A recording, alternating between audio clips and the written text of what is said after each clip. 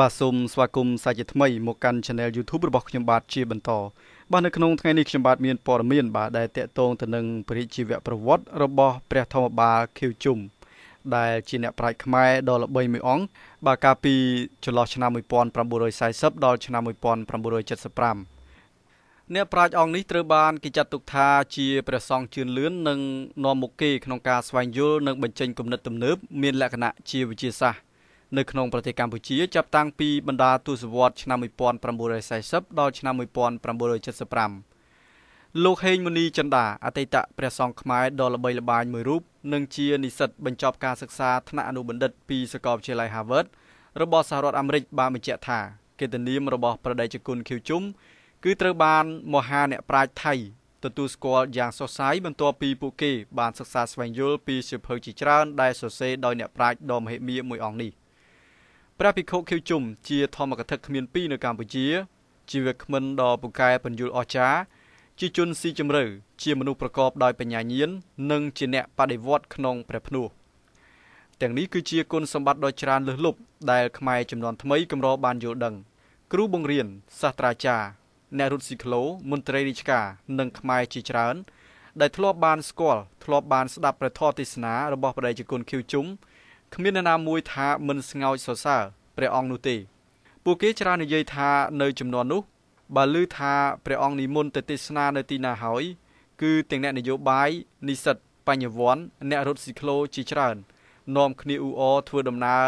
តាមទៅស្ដាប់ហើយនៅក្នុងនោះក៏មានកិញ្ចសម្ងាត់របស់រាជការចំនួននោះតែងតាមដានព្រះអង្គផងដែរ គឺអាចសន្និដ្ឋានបានថាគេក៏មិនពេញចិត្តនឹងទង្វើរបស់លោកឯលោកក៏មិនដែលគ្រប់គ្រងពួកគេវិញដែរប្រជាជនខៀវជុងកើតនៅឆ្នាំ1907នៅភូមិអន្លង់តាសេកឃុំព្រែកអំបិលស្រុកស្អាងខេត្តកណ្ដាលអាយុ12ឆ្នាំឪពុកម្ដាយបានយកមកផ្ញើឲ្យនៅវត្តដើម្បីរៀនសូត្រអក្សរសាស្ត្រនៅឆ្នាំ1924ក្នុងអាយុ17ឆ្នាំយុវជនខៀវជុំបានបួសជាសាមណេរបានមករៀនសូត្របន្តនៅវត្តលង្កាទីក្រុងភ្នំពេញ នៅឆ្នាំ1926ក្រោយមកបានបួសជាភិក្ខុនៅឆ្នាំ1928ដោយមានសម្ដេចព្រះធម្មលិខិតលវីអែមជាព្រះគ្រូឧបជាក្នុងម្ដាយឆ្នាំ1940ព្រះអង្គបានចូលរួមចលនាបដិវត្តជាមួយអាចារ្យហែមជាវដើម្បីរំដោះប្រទេសខ្មែរពីអាណានិគមបារាំងហើយបានភៀសខ្លួនទៅប្រទេសថៃមួយរយៈក្នុងឆ្នាំ1945ដោយបានសរសេរសៀវភៅមួយចំនួននៅទីនោះ និងបានធ្វើសកម្មភាពតស៊ូរួមជាមួយលោកសឺងអុកថាញ់នៅភ្នំដងរែកក្នុងមុខនេតិជាអ្នករៀបចំទ្រឹស្ដីចលនាតស៊ូព្រះអង្គខៀវជុំបានត្រឡប់មកប្រទេសកម្ពុជាវិញនៅក្នុងឆ្នាំ1949បានសរសេរសៀវភៅប្រមាណជាជាង30ក្បាលក៏ប៉ុន្តែសប្តាហ៍ថ្ងៃនេះសៀវភៅដែលយើងអាចរកបានគឺប្រហែលជិត20ក្បាលតែប៉ុណ្ណោះ សិភៅដែលបង្កភាពចម្រូងចម្រាសជាងគេនៅពេលនោះ គឺសិភៅកម្ពុជាវេយ្យាករណ៍និងបញ្ហានរុសួរដោយស្ថាប័នព្រះសង្ឃរាជបញ្ជាឲ្យបិទមិនឲ្យផ្សាយបន្តនិងឲ្យដើរប្រមូលពីបណ្ដាគារនានាដើម្បីយកទៅដុតចោលលែងឲ្យមានចរាចរណ៍តទៅទៀតជីវិតតស៊ូឬបំរាស់ពីគំនាបទាំងឡាយជុំវិញខ្លួនរហូតតមកធ្វើឲ្យព្រះអង្គកាន់តែរឹងប៉ឹងឡើងជាលំដាប់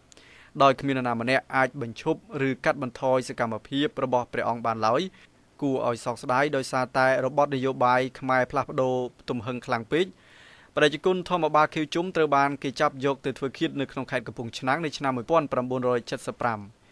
ព្រះភិក្ខុធម្មបាលខៀវជុំជាសាមណបញ្ញវន្តខ្មែរមួយរូបដែលមានឧត្តមគតិនិងមនសិការជាតិលោកប្រសូតនៅថ្ងៃច័ន្ទ8កើតខែផល្គុនពុទ្ធសករាជ2450 គ្រិស្តសករាជ1907នៅភូមិអន្លង់តាសេកឃុំព្រែកអំពិលស្រុកស្អាងខេត្តកណ្ដាលបិតាឈ្មោះង៉ែតខៀវមាតាឈ្មោះកៅចិន ជាគ្រួសារកសិករបសុកម្មនេសាទនិងពាណិជ្ជកម្មព្រះភិក្ខុសុគតនៅពុទ្ធសករាជ2518ត្រូវនឹងគ្រិស្តសករាជឆ្នាំ1975 តាមប្រភពពីអ្នកធ្លាប់រស់នៅគៀកកិតនឹងព្រះធម្មបាលបានដំណើរថានៅថ្ងៃទី18ខែមេសាឆ្នាំ1975វេលាម៉ោង11ថ្ងៃត្រង់រថយន្តរបស់លោកបានឆ្លងស្ពានព្រះមនីវងដល់ច្បារអំពៅហើយពេលនោះមានបញ្ជីពីថ្នាក់លើមេខ្មែរក្រហមឲ្យខាត់រថយន្តត្រឡប់មកក្រោយវិញមិនដឹងទៅណាហេតុការណ៍នេះខ្ញុំនៅជាសង្ឃជំលះជាមួយព្រះសង្ឃ5អង្គទៀតធ្វើដំណើរដល់ច្បារអំពៅដែរគឺកិច្ចចេញពីវងមនុស្សរកកន្លែងឆាន់ត្រង់ លើគំនរផ្ទះបាក់បែកត្រូវក្របផ្លោងពីយប់កំពុងតែឆាន់បាយក្រៀមខ្លះបាយសខ្លះស្រាប់តែមានឧបាសកម្នាក់គាត់ទូលថាអំបញ្ញមិញកងទ័ពរំដោះខ្មែរក្រហមខាត់ឡានលោកតាខៀវជុំឲ្យត្រឡប់ក្រោយវិញហើយពុំដឹងទៅទីណាទេ